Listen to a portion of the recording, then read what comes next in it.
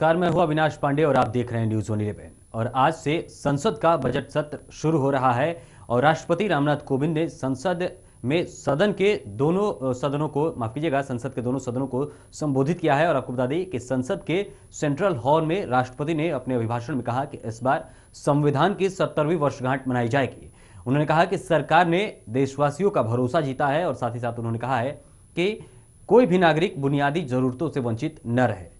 इसके साथ साथ रामनाथ, राष्ट्रपति रामनाथ कोविंद ने कहा कि देश में 9 करोड़ से ज़्यादा शौचालयों का निर्माण हुआ है और इस साल 2 अक्टूबर तक देश को पूर्ण स्वच्छ बनाने का संकल्प लिया गया है। और आर्थिक न्याय के आदर्शों के साथ आगे बढ़ रहा है। मेरी सरकार के प्रयासों में शोषण की राजनीति के विरुद्ध जन चेतना की मसाल जलाने वाले डॉक्टर राम मनोहर लोहिया के समानता पर आधारित समाज के प्रति आस्था स्पष्ट दिखाई देती है। माननीय सदस्यगण, वर्ष 2014 के आम चुनाव से पहले देश एक अनिश्चितता के दौर से गुजर रहा था। चुनाव के बाद मेरी सरकार ने कारभार संभालने के साथ ही एक नया भारत बनाने का संकल्प लिया।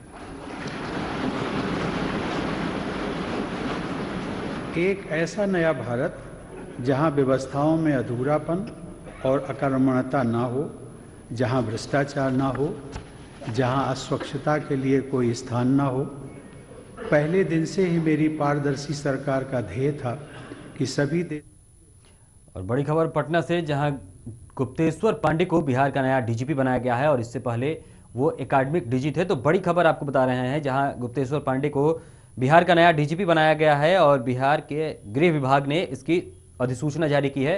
आपको बता दें कि गुप्तेश्वर पांडे उन्नीस सौ सतासी बैच के आईपीएस अधिकारी हैं और इससे पहले वो बिहार के ट्रेनिंग के अकेडमिक कह लें या फिर जिस तरीके से वो उनकी ट्रेनिंग थी, उसके वो डीजी थे। तो बड़ी खबर पटना से, जहाँ गुप्तेश्वर पांडे बिहार के नए डीजीपी बनाए गए हैं और गृह विभाग ने अधिसूचना जारी कर इसकी घोषणा की है। और इस खबर पर अधिक जानकारी के साथ जुड़ रहे हैं हमारे संवाददाता विक्रांत विक्रांत, जिस तरीके से गुप्तेश्वर पांडे को डीजी बनाया गया है, क्या लगता है, क्या उनसे बातचीत हो पाई? आपकी क्या कहना है उनका उनका? जी, बिल्कुल अविनाश, मैं बता दूँ कि गृह विभाग ने अधिसूचना जारी करते हुए आज ये मतलब सुचारू रूप से कर दिया गया कि आज बिहार के नए मुखिया गुप्तेश्वर पांडे को मतलब नियुक्त कर दिया गया और उन्नीस सौ चौराहे उन्नीस सौ उन्नीस सौ सतासी के आईपीएस अधिकारी गुप्तेश्वर पांडे हैं, जो कि आज बिहार के नए डीजीपी के रूप में शपथ ग्रहण करेंगे, जी। बिल्कुल। विक्रांत फेहरिस्त बड़ी लंबी थी डीजीपी बनने वाले अधिकारियों की, लेकिन उसमें से गुप्तेश्वर पांडे का चयन किया गया है। क्या आपको नहीं लगता कि एक तरीके से चौंकाने वाली बात भी आ रही है? क्योंकि फेहरिस्त काफ़ी लंबी थी, लेकिन उसमें गुप्तेश्वर पांडे का नाम भी लिस्ट में शामिल था। जी बिल्कुल अमेश मैं बता दूँ कि पहले इसके पहले जो बिहार के डीजीपी के नाम आ रहे थे उसमें आर के मिश्रा शामिल थे। लेकिन उनको पीछे पछाड़ते हुए नए डीजीपी के रूप में गुप्तेश्वर पांडे को लाया गया है और इसमें आदेश भी जारी कर दिया आज वो शपथ ग्रहण करेंगे। जी। जी फ़िलहाल तमाम जानकारियों के लिए विक्रांत आपका बहुत बहुत धन्यवाद। तो ये थे हमारे संवाददाता विक्रांत जो अधिक जानकारी दे रहे थे।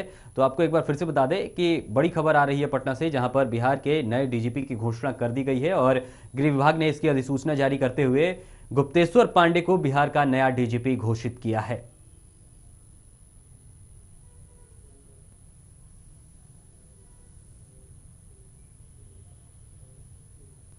और राजधानी पटना से सटे बिहटा थाना क्षेत्र में लग रहे महाजाम से लोगों को परेशानियों का सामना करना पड़ रहा है और इसको लेकर पटना पुलिस ने जगह जगह पुलिस चेक पोस्ट तैयार करवाए हैं, लेकिन समस्या से निजात नहीं मिल रही है। आपको बता दें कि जाम की वजह से ट्रक चालक दो दिनों तक अपनी जगह से बैठे रह रहे हैं और जाम खुलने का इंतज़ार करते नज़र आ रहे हैं। वहीं पुलिस के पर पैसे लेकर ट्रक को पीछे और आगे करवाने का भी आरोप ट्रक चालकों ने लगाया है और ये नज़ारा आम है। ये आप जैसे ही उस तरह से बेहटा से कोयलवरपुर की तरफ़ बढ़ेंगे या फिर जिधर भी बढ़ लें, ट्रैफ़िक जाम एक बहुत बड़ी समस्या है। इसको लेकर आपको बता दें कि आज सीएम ने भी जाँच से छुटकारा पाने के लिए एरियल सर्वे कराने की बात कही है और यह एरियल सर्वे भी हो सकता है, जिसके तहत जाम से परेशान जो भी लोग हो रहे हैं, उनको मुक्ति मिल पाए। लेकिन जो तस्वीरें आ रही हैं सामने, लगातार जो कोयलवर है, वो जाम रहता है और ट्रक चालक एक एक दिन कह लें या दो दो दिन तक अपनी जगह से हिलती नहीं है, जिस तरीके से वहाँ पर जाम की समस्या आ रही है। आम लोगों को काफ़ी परेशानियों का सामना करना पड़ता है। एंबुलेंस की बात कर लें तो एंबुलेंस वहाँ खड़ी रह जाती है। मरीज़ परेशान होते रहते हैं, लेकिन कोई सुनवाई नहीं होती है।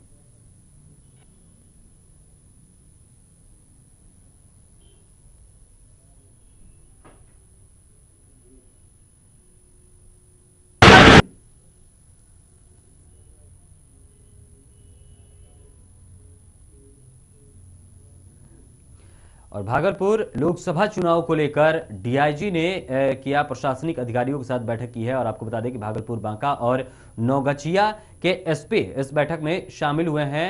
वहीं बैठक के दौरान मुख्य रूप से शांतिपूर्ण चुनाव कराने को लेकर एवं नक्सल प्रभावित क्षेत्रों एवं दियारा क्षेत्रों की विशेष सुरक्षा व्यवस्था की जाने के लिए यह बैठक की गई है।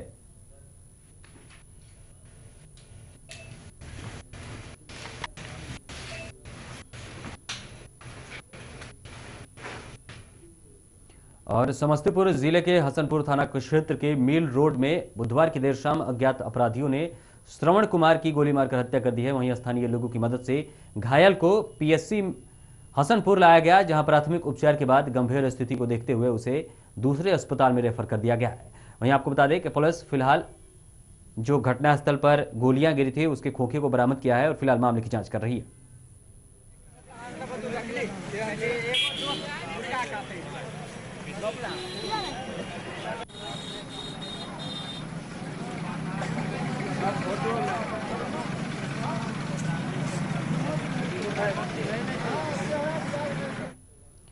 और भागलपुर के हबीबपुर थाना क्षेत्र के सालेपुर में एक व्यवसायी के घर पर अपराधियों ने खुलेआम हथियार से हमला कर दिया और आपको बता दें कि गनीमत रही कि अपराधियों को हथियार के साथ घर वाले ने धर दबोचा, जिसके बाद हबीबपुर थाने की पुलिस को इसकी सूचना दी गई। वहीं घटनास्थल पर पहुँची पुलिस के ने अपराधियों को अपने कब्जे में लेकर फ़िलहाल आगे की जाँच शुरू कर दी है।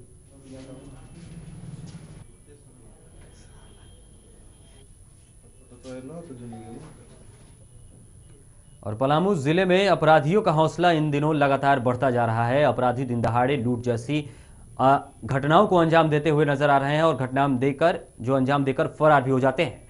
वहीं पुलिस हाथ पर हाथ धरे बहती रहती है। आपको बता दें कि बताया जा रहा है कि बैंक से एक, जो महिला है, वो एक लाख पचास हज़ार रुपये के साथ अपने घर जा रही थी और इसी दौरान उससे हुसैनाबाद और हैदर नगर के मुख्य सड़क के पास से दो नवाक नकाब पोस्ट बाइक सवारों ने अपराधियों ने फिल्मी अंदाज में लूट की घटना को अंजाम दिया। वहीं घटना के बाद इसकी प्राथमिकी दर्ज कराई गई है, वहीं पुलिस की माने तो वो फ़िलहाल मामले की जाँच कर रही है।